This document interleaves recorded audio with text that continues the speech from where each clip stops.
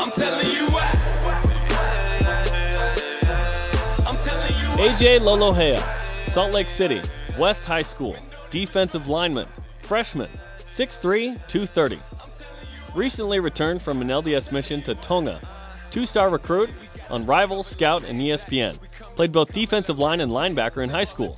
Saw time at quarterback as a junior. In his senior season, totaled 29 tackles and 5.5 tackles for loss. Also played rugby and tennis.